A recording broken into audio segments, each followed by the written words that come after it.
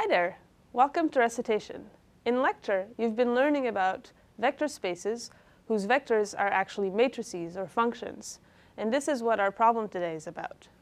We have a, a set of 2 by 3 matrices whose null space contains the vector 2, 1, 1. And I want you to show that this set is actually a vector space, well, a vector subspace of the space of all 2 by 3 matrices. And then I want you to find a basis for it. When you're done, here's an additional question. What about the set of uh, those 2 by 3 matrices whose column space contains the vector 2, 1? All right, hit pause and work on it yourself. And when you're ready, I'll come back and show you how I did it.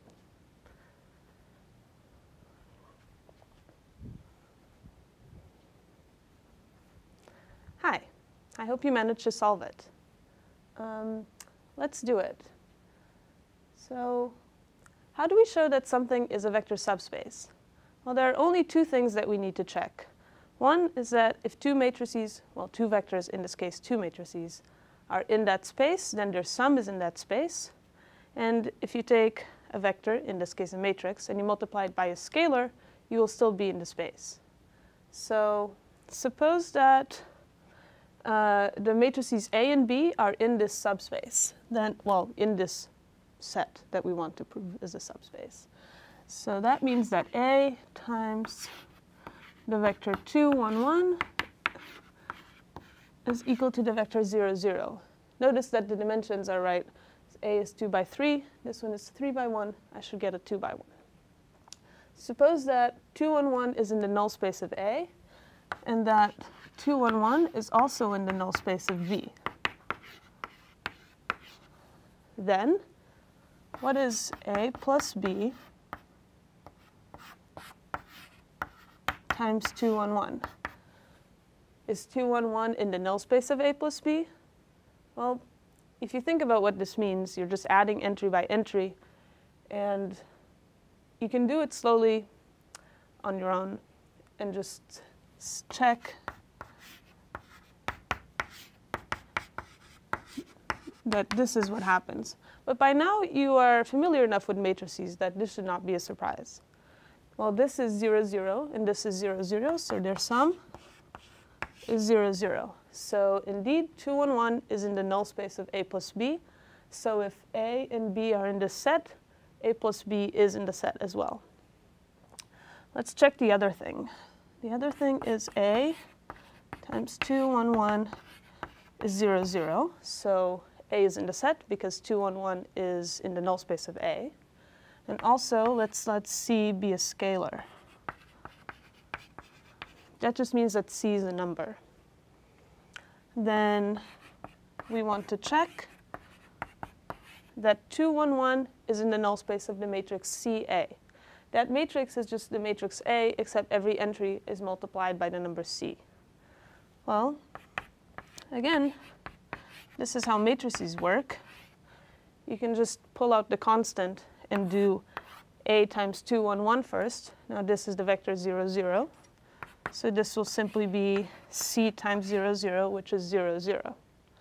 So the matrix CA is also contained in the set. So the set is closed under addition and other multiplication by scalar. So the set is indeed a vector subspace. Well, that takes care of the first part of the question. The second part was find a basis for this subspace. So let's work on that now. Well, so the condition for a matrix to be in this subspace is that the null, that the vector 2, 1, 1 is in the null space. So I must have, A times 2, 1, 1 is equal to 0, 0. So what is happening? Well, A is a 2 by 3 matrix. So you can actually think about what happens on each row separately. You will have the first row of A times 2, 1, 1 is equal to 0, and the second row of A times 2, 1, 1 is equal to 0. So let's see what that means. Each row of a matrix A in this vector subspace must satisfy, um, must be a, B, C, 2, 1, 1 equal to 0. Well, This is not really a good sentence, but you understand. Uh, which means that, well, let's see, 2a plus b plus c is equal to 0. So I can actually write it in this format. Uh, let's see, must be of the form, uh, well, a, b, and then c must be equal to minus 2a minus b, right? So furthermore, we can say that it, well, one thing that you can do, let me write this here to help you. It'll be a, 0, minus 2a, plus 0, b, minus b. See, so what I'm doing is I'm splitting this into the linear combination of two vectors. I can pull out the a out of this one and pull the b out of this one. It will be, must be a linear combination. That's what this means, linear combination of the following. 1, 0, minus 2, and 0, 1, minus 1. Does that make sense? So this is what each row of A must, must satisfy. So we can now put everything together into what a basis for the vector space has to be. A basis will be, well, it's 2 by 3 matrix, and each row must be a linear combination of these two vectors. So let's write that. 1, 0, minus 2, and I'll keep the second row with zeros.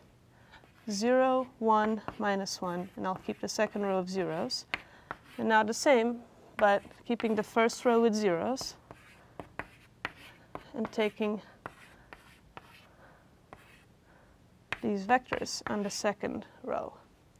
So this is a basis for my vector space. 1, 2, 3, 4. That also means that the dimension of this subspace is 4. There was one further question, which was, what, what can you say about the set of those matrices that contain the vector 2, 1 in their column space?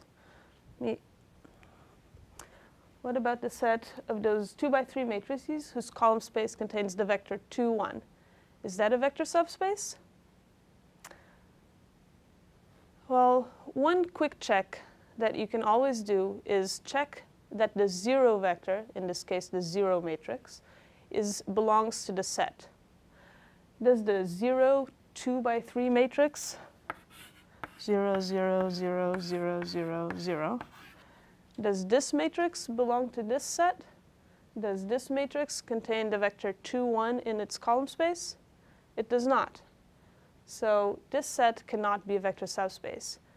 If you want to think about how this zero belonging in the set has anything to do with the two conditions being closed under sum and closed under multiplication by scalar, simply think that you should always be able to multiply a matrix by the scalar zero and have it still be in the set.